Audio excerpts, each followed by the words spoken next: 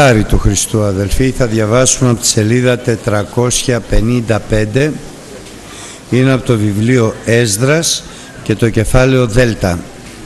Σελίς 455 βιβλίο Έσδρας και κεφάλαιο Δέλτα. Δέλτα κεφάλαιο κάτω δεξιά από το βιβλίο Έσδρας οι δε εχθροί του Ιούδα και Βενιαμίν ακούσαντες ότι η ήτς της εχμαλωσίας οικοδομούσι των ναών εις Κύριον των Θεών του Ισραήλ ήλθον προς τον Ζωροβάβελ και προς τους αρχηγούς των πατριών και είπαν προς αυτούς «Ας οικοδομήσομεν με εσάς, διότι και εμείς εξητούμεν των Θεών σας, καθώς σεις και εις αυτόν θυσιάζομεν από των ημερών του Εσαραδών βασιλέως του Ασούρ, ώστις ανεβίβασεν ημάς εδώ. Ο Ζωροβάβελ όμως και ο Ιησούς και οι λοιποί των αρχηγών των πατριών του Ισραήλ λοιπόν προς αυτούς. Ουδέν κοινώνει σε εσάς και εις ημάς ώστε να οικοδομήσετε οίκον εις των Θεών ημών. Αλλά εμείς αυτοί ενωμένοι θέλουμε να οικοδομήσεις Κύριον των Θεών του Ισραήλ καθώς προσέταξε εις ημάς ο βασιλεύς Κύρος ο βασιλεύς της Περσίας και να διαβάσω από την άλλη σελίδα από το πέμπτο κεφάλαιο ε κεφάλαιο πρώτο εδάφιο.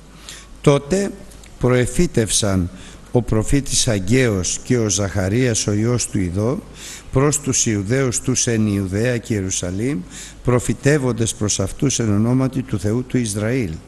Και σηκώθησαν Ζωροβάβελ ο Υιός του Σαλαθιήλ και Ιησούς ο Υιός του Ισεδέκ και άρχισε να οικοδομούσει τον οίκον του Θεού των Ιερουσαλήμ και με ταυτόν οι προφήτε του Θεού βοηθούντος αυτούς. Και στην επόμενη σελίδα το 12 εδάφιο από το ίδιο κεφάλαιο και ο Θεός ως της κατόκισε το όνομα αυτού εκεί ας εξολοθρεύσει πάντα βασιλέα και λαών ως της εκτείνει την χείραν αυτού για να παραλλάξει τι ώστε να καταστρέψει τούτον τον οίκον του Θεού εν Ιερουσαλήμ εγώ ο Δαρίος εξέδωκα τη διαταγή και ας εκτελεστεί ταχαίως. Αμήν. Όλη η Γραφή, η Παλαιά Διαθήκη είναι θεόπνευστος και ωφέλιμος προς διδασκαλία, προς επανόρθωση και προς εκπαίδευση. Δεν είναι προς σωτηρία. Αλλά μέσα από την Παλαιά Διαθήκη καθώς τη διαβάζουμε διαπνεύματος Αγίου παίρνουμε αυτά τα οποία ο Θεός θέλει να μας δώσει την καλή διδασκαλία, την υγιένουσα διδασκαλία. Σήμερα λοιπόν με τη χάρη του Χριστού διαβάζουμε από το βιβλίο Έσδρας όπου είναι το βιβλίο όπου περιγράφεται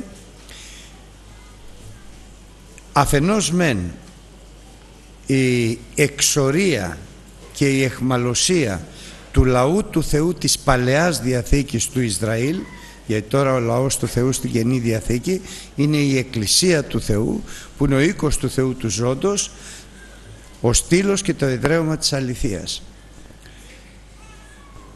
Μέσα λοιπόν από το βιβλίο του Έσδρα διακρίνουμε την αμαρτία του λαού του Θεού που άλλαξε τη δόξα του αληθινού Θεού το Λόγο του Θεού και εξέλεξε ειδωλολατρεία και ψεύδι να λατρεύει και να προσκυνάει με αποτέλεσμα ο Θεός όχι με κακία αλλά εξαιτίας της αγάπης που είχε προς το λαό του γιατί ο Θεός την αγάπη επέτρεψε τους Χαλδαίους, τον Αυγοδονόσορα συγκεκριμένα να συλλάβουν να εχμαλωτήσουν και να εξορίσουν το λαό Ισραήλ στην γη των Χαλδαίων.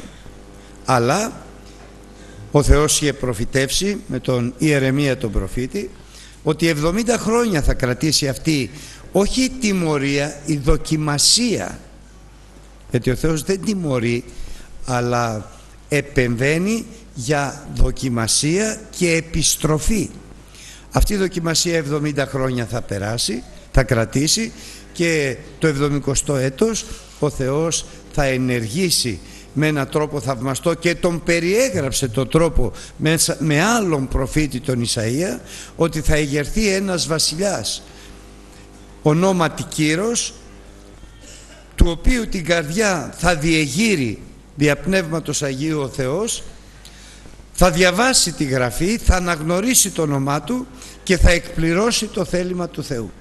Δηλαδή, όπως και έγινε, ο Κύρος ευασίλευσε μετά την καταστροφή των Βαβυλωνίων καθώς οι Μύδοι και Πέρσες κυρίευσαν και έγιναν κυρίαρχοι της οικουμένης της γνωστής τότε ο Κύρος διάβασε τη Γραφή και διέταξε την επιστροφή του λαού Ισραήλ και ο λαός επέστρεψε για να οικοδομήσει το ναό αφού του έδωσε και όλα τα αναγκαία.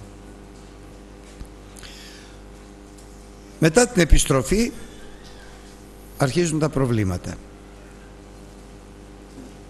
Σήμερα το μήνυμα είναι ότι ο Θεός είναι αγάπη, ο Θεός είναι πνεύμα και θέλει τους προσκυνούντας Αυτόν να τον προσκυνούν και να τον λατρεύουν εν πνεύματι και αληθεία με πνεύμα Άγιο και με αλήθεια δεν υπάρχει άλλος τρόπος να πλησιάζεις το Θεό να λατρεύεις το Θεό και να προσκυνάς το Θεό αποδεκτός δεν υπάρχει άλλος τρόπος αποδεκτός από τον Θεό παρά μόνο εν πνεύματι και αληθεία δηλαδή όχι διαφαινομένων ούτε κατά σάρκα αλλά πρώτον δια Πνεύματος Αγίου και δεύτερον μέσα στην αλήθεια του Λόγου του Θεού.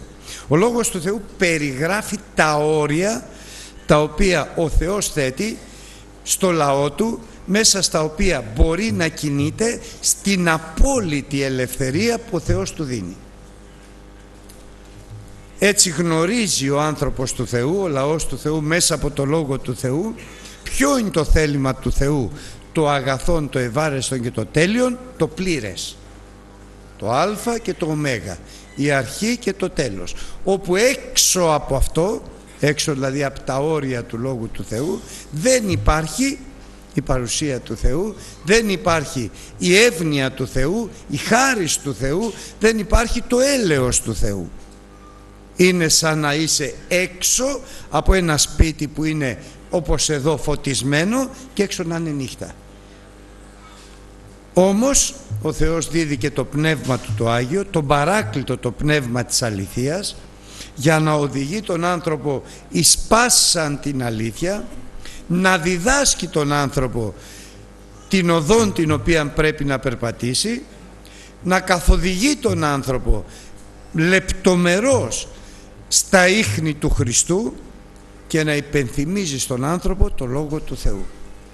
Έτσι λοιπόν με το Λόγο του Θεού που περιγράφει το εγγένει θέλημα του Θεού και με τη φωνή του Πνεύματος του Αγίου που, που κατευθύνει τον άνθρωπο στη λεπτομέρεια του θελήματος του Θεού ώστε ο άνθρωπος του Θεού να περπατάει ακριβώς στο θέλημα του Θεού. Μη ο άσοφος αλλά ο σοφός ιδιαίτερα τις έσχατες ημέρες που η καιρή είναι πονηρή και βλέπουμε να εκπληρώνεται όλος ο λόγος του Θεού ο οποίος εν γέννη μας περιγράφει ότι τις έσχατες ημέρες η καιρή θα είναι κακή και η καιρή είναι κακή και μοιάζουν, μας περιγράφει επίσης ο Λόγος του Θεού, σαν τις οδύνες της εγκυμονούσης, που όπως ακριβώς έρχονται οι πόνοι στη γυναίκα για να γεννήσει, και όσο προχωράει προς την ώρα, προς τη στιγμή της γένας οι πόνοι γίνονται πιο μεγάλοι και πιο συχνοί. Έτσι ακριβώς θα είναι και οι καιροί και οι κακοί, οι οδύνες στον κόσμο όλο και πιο μεγάλες και όλο και πιο συχνές και είναι απίστευτο πως βιώνουμε όχι μόνο στην Ελλάδα βιώνει όλος ο κόσμος ακριβώς αυτό το γεγραμμένο λόγο του Θεού το προφητικό λόγο του Θεού. Ας επανέλθουμε όμως τώρα στη διδασκαλία που ο Θεός μας δίνει μέσα από τον Έσδρα τον προφήτη όπου ξεκίνησαν έβαλαν τα θεμέλια του ναού δόξασαν το Θεό και αποφάσισαν να οικοδομήσουν. Και όταν ο άνθρωπος αποφασίζει να οικοδομήσει είτε το θε, να οικοδομήσει σύμφωνα με το θέλημα του Θεού στην προσωπική του ζωή, στην οικογενειακή του ζωή αλλά και σε κάθε μορφή της ύπαρξής του τότε δυστυχώς αποκαλύπτεται ότι έξω από τον Πατέρα, τον Υιό και το Πνεύμα το Άγιο που είναι ο ένας και αληθινός Θεός υπάρχει και ο ενάντιος του Θεού ο διάβολος ο οποίος αγωνίζεται να σταματήσει το έργο του Θεού που είναι για τη δόξα του Θεού και την ευλογία του ανθρώπου. Αυτός είναι πνευματικός νόμος απαράβατος. Θα έρθει να σου βάλει στο μυαλό απόψεις, θα έρθει να κάνει κινήσεις για να σε εμποδίσει να συνεχίσεις. Γιατί αν συνεχίσεις θα σε χάσει. Αν συνεχίσεις θα εκπληρωθεί το θέλημα του Θεού. Θα δοξαστεί ο Θεός στη ζωή σου και μέσα από τη ζωή σου και στο περιβάλλον σου. Έτσι λοιπόν στην περιοχή εκείνη του Ιούδα κατοικούσαν οι Σαμαρίτες οι λεγόμενοι οι οποίοι ήταν αυτοί τους οποίους οι Ασσύριοι πριν από 70 και χρόνια είχαν με, κάνει απίκους από την Ασσυρία και από άλλα μέρη στη γη του Ισραήλ και ενώθηκαν με το υπόλοιπο του λαού Ισραήλ και λάτρευαν και τους δικούς τους θεούς αλλά και φοβόνταν τον Θεό. Πράγμα το οποίο ο Θεός δεν το θέλει, δεν θέλει ο Θεός την πρόσμιξη της αλήθειας με το ψέμα, την πρόσμιξη της δικαιοσύνης Του με την αδικία των ανθρώπων, ο Θεός θέλει τον αγιασμό, την καθαρότητα και μάλιστα τον αγιασμό τον παρουσιάζει με το χρυσάφι το οποίο καθαρίζεται στη φωτιά της δοκιμασίας. Και έτσι λοιπόν ήρθανε οι γείτονες και τους είπαν εμείς είμαστε πρόθυμοι μαζί να σας βοηθήσουμε να οικοδομήσετε. Θυμίζω τους προσκυνούντας και τους λατρεύοντας τον Θεό ο Θεός θέλει με πνεύμα Άγιο και με αλήθεια να οικοδομούν και να λατρεύουν και να προσκυνούν. Τώρα ζητάνε να αλλοιωθεί η αλήθεια, ο Λόγος του Θεού και ο λαός Ισραήλ, ο Ζωροβάβελ και οι άλλοι μένουν πιστοί στην αλήθεια και αρνούνται την συνοικοδόμηση. Καθώς και στην Καινή Διαθήκη μας λέει ο Λόγος του Θεού να μην ομοζυγείτε με τους απίστους.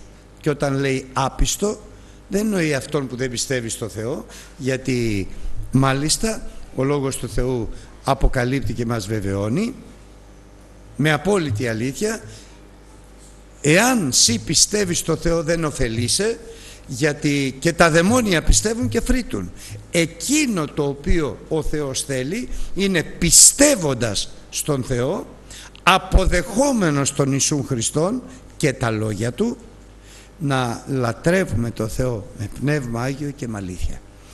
Και έτσι λοιπόν ο λαός Ισραήλ το 536 που έγινε η, η ελευθερία από την εχμαλωσία στην πρόσκληση και πρόκληση των γειτόνων να συνοικοδομήσουν πολύ σωστά σύμφωνα με την αλήθεια του Ευαγγελίου δέχτηκαν το Λόγο του Θεού και απέρριψαν την πρόταση των γειτόνων τους. Και αυτό άρεσε στο Θεό ιδιαιτέρως αρέσει το Θεό όταν το παιδί του Θεού, ο λαός του Θεού μένει στην αλήθεια. Όμως δεν έκαναν το δεύτερο. Αποφάσισαν μένοντας στην αλήθεια να προσπαθήσουν μόνοι τους να συνεχίσουν και απέτυχαν. Τι τους έλειπε; Η δύναμη του Πνεύματος του Αγίου η φανέρωση του Πνεύματος του Αγίου η φωνή του Πνεύματος του Αγίου και έτσι οι άλλοι οι οποίοι είναι πονηροί και ισχυρότεροι εν τον κόσμο και από το λαό του Θεού όταν δεν κρατάει στα χέρια του την αλήθεια και, το, και τη δύναμη του Πνεύματος του Αγίου υπερίσχυσαν και εμπόδισαν και σταμάτησαν το έργο του Θεού το οποίο βεβαίως όμως δεν σταματάει για πάντα. Ξανάρχισε να, να εμφανίζεται ο Θεός με τους προφήτες τον Αγγαίο και τον Ζαχαρία. Όμως αυτά τα 20 χρόνια που πέρασαν συγγνώμη τα 16 χρόνια που πέρασαν ήταν ζημιογόνα για το λαό Ισραήλ γιατί χωρίς τη δύναμη του Πνεύματος του Αγίου ο λαός του Θεού πέφτει, εξασθενεί και αρχίζει και ασχολείται με πράγματα μάταια όπως είναι να οικοδομήσουν οίκους μεγάλους δια τους εαυτούς των που δεν το απαγορεύει αλλά δεν είναι το κύριο, η κυρία αποστολή του ανθρώπου. Δεν λέει να μην φτιάχνουν σπίτι, αντιθέτως. Οικοδομήσατε, φυτεύσατε, κατοικήσατε, εσοδεύσατε. Αλλά δεν είναι αυτός ο στόχος του χριστιανού. Ο στόχος του χριστιανού είναι αυτό που λέει ο Χριστός. Ζητείτε πρώτον τη Βασιλεία του Θεού και τη δικαιοσύνη αυτού και όλα τα άλλα εγώ θα σας τα προσθέσω. Το αποτέλεσμα όμως ήταν σοβαρότατο, έχασαν την εύνοια του Θεού ώστε μετά από 16 χρόνια ο Αγγέος ο προφήτης αλλά και ο Ζαχαρίας προφήτευσαν λέγοντες δεν βλέπετε την πορεία σας καθώς δεν εξητείτε τη φωνή του Πνεύματος του Αγίου μένονται στην αλήθεια. Το αποτέλεσμα είναι σπήρατε πολύ σοδεύσατε λίγο. Τρώγετε και δεν χορταίνετε. Πίνετε και δεν ευχαριστήστε. Ενδύεστε και δεν θερμαίνεστε. Μισθοδοτήστε και δεν μένει τίποτα στην τσέπη σας. Δηλαδή δεν έχετε την εύνοια του Θεού δεν έχετε τη χάρη του Θεού, δεν έχετε το έλεος του Θεού γιατί η λατρεία σας και η προσκύνησή σας είναι μισή μόνο με το Λόγο του Θεού χωρίς το Πνεύμα το Άγιο. Και μετά από 16 χρόνια το Πνεύμα το Άγιο δίδει εντολή στους προφήτες και οι προφήτες προφητεύουν και ξεκινάει ξανά η οικοδομή η οποία τώρα επειδή γίνεται από τους ίδιους ανθρώπους με τις ίδιες δυνάμεις αλλά η διαφορά είναι μεγάλη είναι ναι με την αλήθεια αλλά τώρα και με τη δύναμη του Πνεύματος του Αγίου μέσα σε τέσσερα χρόνια ολοκληρώνεται και χτίζεται ο ναός.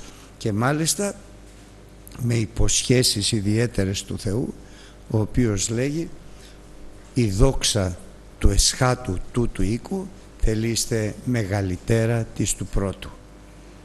Και έτσι λοιπόν πραγματοποιήθηκε το θέλημα του Θεού μόνο όταν ο λαός του Θεού με τη βοήθεια του Θεού οικοδομεί, εργάζεται, προχωράει μες στην αλήθεια και με τη δύναμη του Πνεύματος του Αγίου. Και αυτή η διδασκαλία, αδερφοί αγαπητοί, της Παλαιάς Διαθήκης είναι πολύ σημαντική για τον κάθε έναν από εμά. Για, την, για τις οικογένειές μας. Δεν μπορείς να ευωδούσε, να ευλογήσεις εάν δεν περπατάς μέσα στο Λόγο του Θεού. Με υπακοή. Και δεν μπορείς να ευωδούσε όλα θα τα κάνεις λάθος. Η αποτυχία θα είναι πάντοτε μπροστά σου. Αν δεν διοικείσαι από το Πνεύμα το Άγιο. Αν δεν οδηγείσαι από το Πνεύμα το Άγιο. Γι' αυτό μέσα στην Εκκλησία του Θεού το λέω με μεγάλη συστολή και φόβο υπάρχουν αδελφοί και αδελφοί Υπάρχουν αδελφοί που πραγματικά βλέπεις τη χάρη του Θεού, τη δόξα του Θεού και ό,τι αν κάνουν ο Θεός τους ευωδώνει γιατί περπατάνε μέσα στο Λόγο του Θεού ακριβώς και εξητούν πάντοτε χωρίς διακοπή την οδηγία, τη φωνή και τη δύναμη του Πνεύματος του Αγίου. Και τα αποτελέσματα είναι μεγάλα, φοβερά και ο Θεός κάνει μεγαλεία. Όταν ο άνθρωπος όμως ξεχαστεί και εδώ είναι το μεγάλο πρόβλημα αποκοιμηθεί μέσα στις μέρημνες του κόσμου τούτου που οι μέρημνες δυστυχώς υπάρχουν και δημιουργούν στους ανθρώπους φόβο, αγωνία, πολλές φορές απελπισία και απόγνωση με αποτέλεσμα να χάνεται η βοήθεια του Θεού που είναι ετοιμοτάτη πάντοτε προς σωτηρία προς ευλογία καθώς είναι βέβαιον τούτο διότι είναι γεγραμμένο και η Γραφή δεν δύναται να αναιρεθεί ότι ο Θεός είπε όμωσα ορκίστηκα στον εαυτό μου ότι εγώ ευλογών θα σε ευλογήσω πληθύνων θα σε πληθύνω. Και αυτή είναι η επαγγελία του Θεού η υπόσχεση του Θεού. Μόνο που χρειάζεται υπομονή για να κάνουμε το θέλημα του Θεού το οποίο είναι μέσα από το Λόγο του Θεού αποκεκαλυμμένο ή πρόκειται να αποκαλυφθεί στον άνθρωπο και μέσα από την οδηγία του Πνεύματος του Αγίου δηλαδή μέσα από το Λόγο του Θεού εν γέννη το θέλημα του Θεού και μέσα από τη φωνή και την οδηγία του Πνεύματος του Αγίου στη λεπτομέρεια του θελήματος του Θεού. Χρειαζόμαστε λοιπόν υπομονή για να κάνουμε το θέλημα του Θεού και να απολαμβάνουμε στη ζωή μας την επαγγελία του Θεού που είναι ευλογών θα σε ευλογήσω και πληθύνων θα σε πληθύνω. Αμήν. Βοήθησέ μας Χριστέ μου.